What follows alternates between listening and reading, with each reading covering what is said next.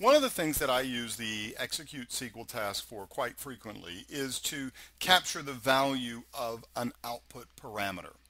Uh, many times you have singleton based stored procedures and by singleton I mean they return a single row guaranteed it's either zero or one there is either one row comes back or no rows come back and it's often faster to store those in output parameters than to send back a result set and have to process a full data set for .NET or SSIS. So I'll give you a couple of examples here. I'm sorry, lost the wrong thing. A common singleton style would be like a detail item. Let me pick something out here you know, I'm just going to keep using this department table because it's easy. Uh, so here's what we're going to do. It's only got four columns. So what we want to do is create a stored procedure that returns a single department. And we have two choices. So choice A would be create proc get single department and you query in for the department ID that you're asking for and then it returns a result set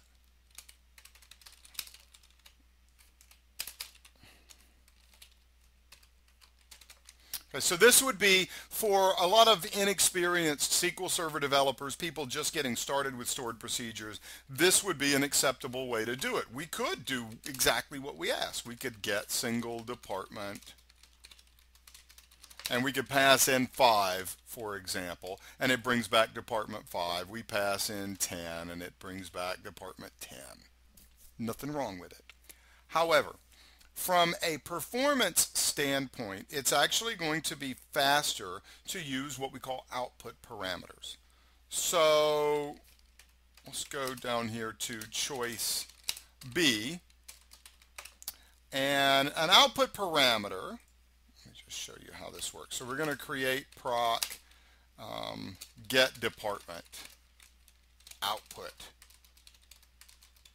params and pass in the department ID that you're looking for and that should have actually been a small int because when you match it to the data type over there you don't want to have to do data conversion so I messed up on the original one didn't do that one correctly but you're going to use output parameters here. So now for each column that I want to return, I'm going to say name and I'm going to match the data type.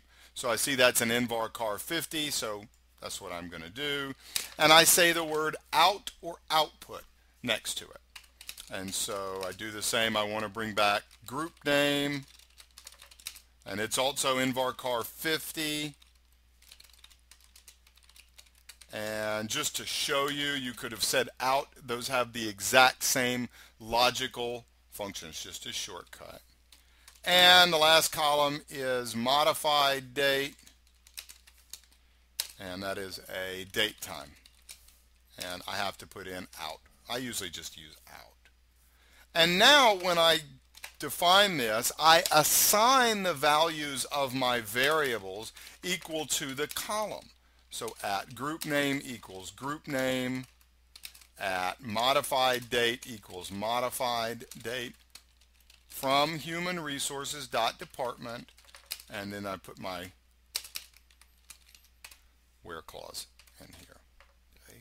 So take a minute and if you are kind of new to working with output parameters, kind of soak that in. Let me let me save this so we don't forget here.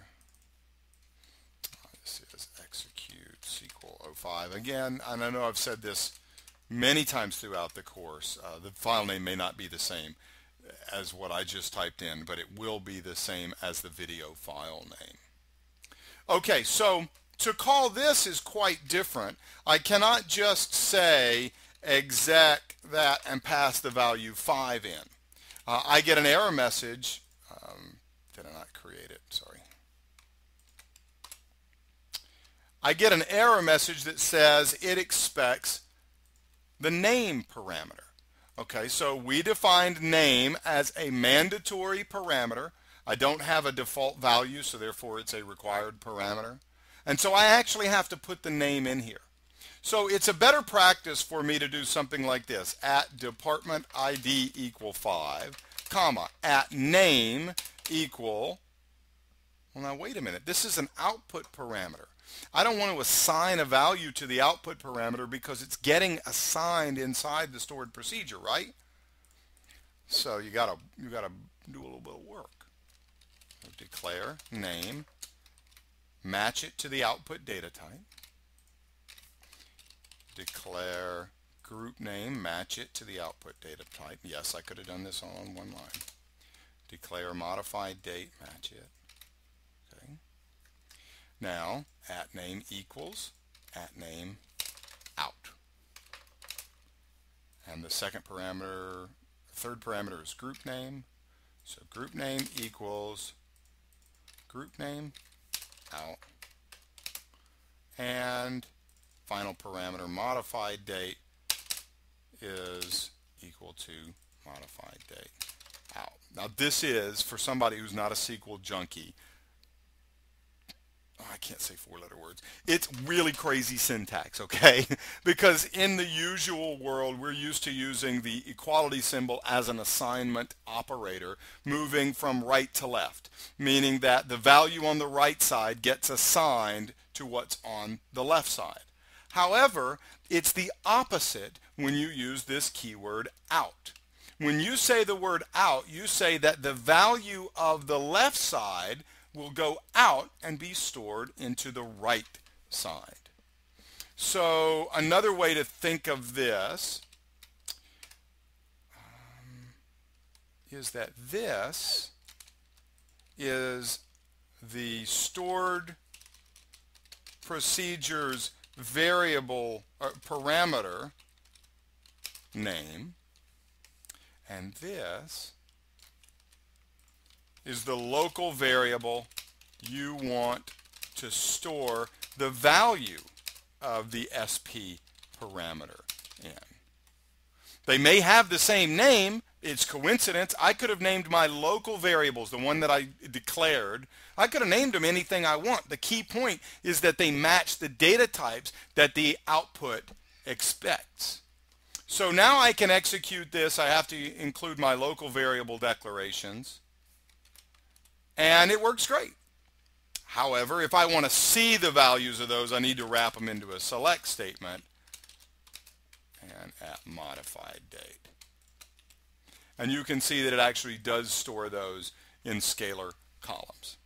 Okay, so this, in my opinion, and in most SQL developers, is a better choice. This is a singleton pattern. We are querying on the primary key of the human resources dot department table. So this, every time you call this stored procedure, it's guaranteed to return zero or one rows. Never is going to return two. So anytime you're in that situation, you should use output parameters. Now, I hope, I hope that was helpful.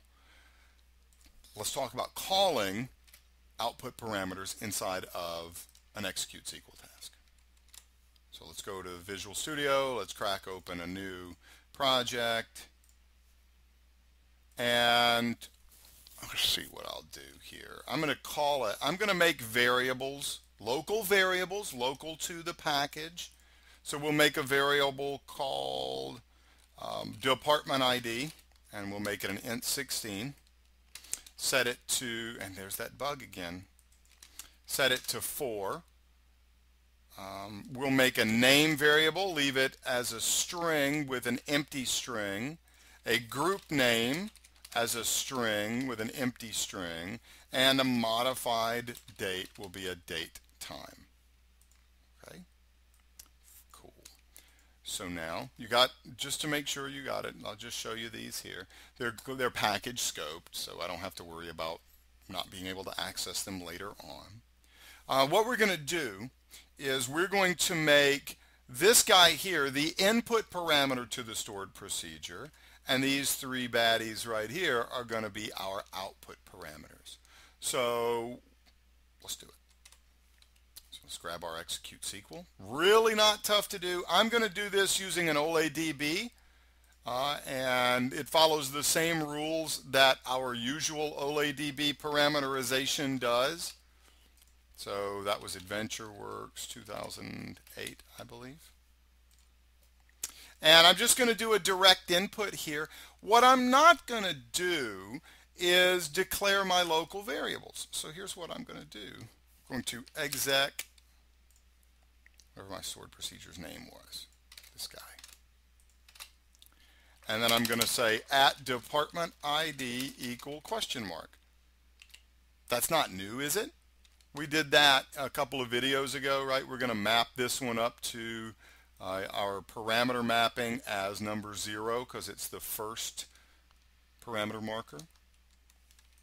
And then for my next stored procedure, that one is name equal question mark out. Well, that's new. And a group name equal question mark out and modified date equal question mark out. So let's just talk about, let me, let me see, let me zoom in one more time here. I know that's probably big, but a lot of people watch these on the little handheld devices, so I try to make it easy for everybody to be able to see. Uh, so much like we did the last time, the ones that are prefixed here with at, sorry, these are the parameter names of the stored procedure. We cannot change those. They are set. Whoever created the stored procedure defined what those were. Over here, oh man, oh, that's way too big. now we're defining this is parameter 0, this is 1, this is going to be 2. Sorry, sorry about that. I accidentally hit mute on the microphone and I didn't know it. And I recorded like this awesome video. It was so great. And you don't get to see it now because it has no audio. So sorry. Thanks for watching. Bye-bye. Uh, I'm just kidding. Right, I, I'm not kidding. I really did actually hit mute, but uh, I'll redo it so that everybody can take part here. Where we last left off before my technical difficulties, we were taking a look here at the four parameters. So I need to map these up in the parameter mapping over here, right? So let's do it. Um, department ID is 0, name is 1, group name is 2, modified date is 3. So I need four parameters, so I hit the button four times. You can come back and change them. Uh, department ID is an input parameter, and it is zero. Department name, though, or name, is actually an output parameter. So you see you have the different types. We're going to take a look at the return value in the next video. So output and it's not a type long. This is actually a string, so it's an nvarchar. And then we've got group name, also an out, also an nvarchar, and you can just type them in, that's fine. And then I could type this in as well, user modified date. Uh, it's an output, and it's a, uh-oh, we know it's 3, but there's a couple of different date ones. There's date, there's, sorry, D, get them to where we can see them. There's date, there's DB date, there's DB time, DB time, oh gosh, there's so many. Well, for this one, the DB timestamp maps to the SQL Server date time in theory. So that's the one that I actually want to look and use. I say in theory, because you will see some oddities with that. Just give me a second. So I say DB timestamp, and I'm not alone in picking that. I don't make these up. Uh, if you click the help button down here, and you remember our little link that we had about working with the parameters, so you click that, there's a little section in here called uh, how to use parameters with date and time data types. And it will tell you the differences between ADO.NET, um, OLEDB, and it shows you, hey, look, if you're dealing with a date-time data type over here in a SQL Server, then you want that to become, hey, look at there, a DB timestamp. Okay, you got it? Cool. So I say okay. And we're good to go, right? Well, one other thing I would like to do is my script task so that we can do a little pop-up. You know, we really wouldn't do this in the real world, but really helpful for development. So go pick all my user level variables. And I'm just going to pop them up. Oh, I should have done VB. Um, not that it matters. Uh, so system.forms, uh, system.windows.forms, uh, dts.variables collection, name, val, um, to group name and modified date.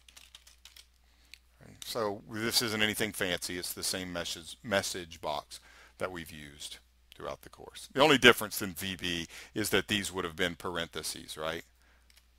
That's the only difference. And there wouldn't be any semicolons. Okay, ready? Awesome, it worked. Oh no, it fails. Got a problem.